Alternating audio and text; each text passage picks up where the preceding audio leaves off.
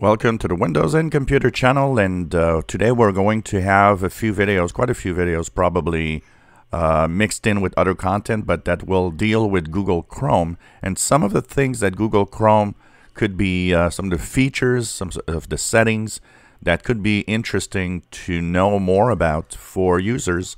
Google Chrome being the big browser, more than 70% uh, of everybody out there on the internet is using this browser. I think learning more about how it works and learning more about things you could do on uh, different fronts, including your privacy, security, and so on, is a, probably a good idea. Of course, I will be doing a playlist. So the playlist will be Google Chrome browser. And all the videos I will be posting about Google Chrome uh, from now on actually will all go in that playlist so that if you wish to, um, you know, click a video and just let the autoplay of the playlist go through to uh, help you out, well, it's going to be easier for all of you. So um, there's going to be a playlist for Google Chrome browser. Now, uh, the first uh, thing we're going to look at today is concerning third-party cookies and uh, the information that uh, can be tracked. There's a lot of tracking going on on the internet. We know that. And one of the things that you could do to mitigate or limit that is, of course, to know how to uh, check the settings in your Google Chrome browser. So just go to your browser, Google Chrome browser, go into the upper right corner in the three uh, vertical dots, go down to settings. Once you're in the settings, you will go on the left side into privacy and security and go down to privacy and security tab. Now you will see something called cookies and other site data. So you can click here. In here, you will have um, different types of options for cookies. Now, I always say that cookies are not as bad as you know they seem. A lot of people uh, mix in cookies and, and, and malware. Um, it no, it, uh, it's not the case. Cookies are actually an essential part of web browsing because they keep information about you.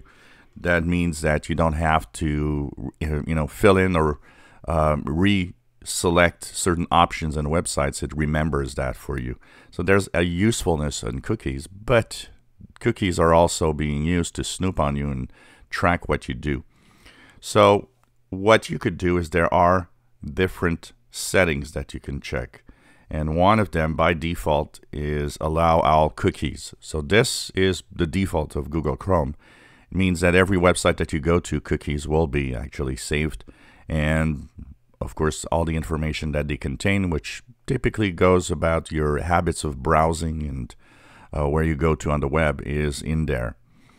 But you can actually um, check out different options. So another option is, of course, if you use incognito mode, you can block third-party cookies in the incognito mode.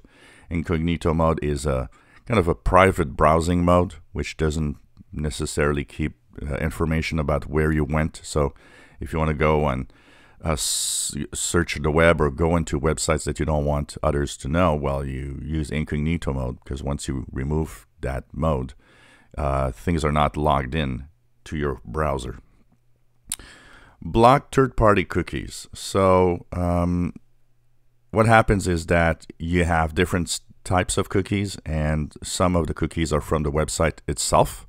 So if you go to um, you know space.com, well you'll have the cookies from the website itself with its own um, you know information. But sometimes because of the ads on the on the page or because of more information or where you click, there's also what we call third-party cookies. Third-party cookies are cookies from a site that's external to the website you went to. So for example, if we go to space.com and you click on something or maybe click on a link, you might have had third-party cookies registering. These are from outside the space.com website. And that means that you can actually um, take that information and um, you know remove or prevent that from happening. So it's limiting the amount of tracking that cookies do. So you can block third-party cookies if you want. You can block all cookies, but that's not recommended. And one of the reasons it's not recommended is because of the fact that a lot of websites do not work if you block them.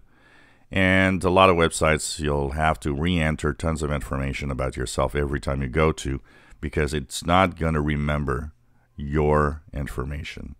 So that's important to actually understand. Um, all the information there. One thing that uh, also is available, so I keep it at allow all cookies because I don't really care, but it depends on you. Some, you know, some of you might find that it's important to limit the information out there. Um, you can use a little slide here that says clear cookies and site data when you quit Chrome. Once again, uh, looks like a good idea when you think about it. Remember that if you clear the cookies and the information, uh, you will have, of course, to re-enter information on many websites that you go to. The do not track request, this is a optional uh, request for most websites. That means that if you ask not to be tracked, some some websites do actually, um, you know, use that and will will keep your um, session private and will stop tracking. But most websites just ignore this flag actually. So these are information to know um, that you actually um, can play with for cookies and and data uh, from third-party um, you know cookies also. So this is one of the options for privacy and security, and we're going to check more about that, and we're going to check other uh, options in Google Chrome as the day goes by. And of course, with any other information that's available, we'll be talking about that. If you enjoy our videos, please subscribe, give us thumbs up. Thank you for watching.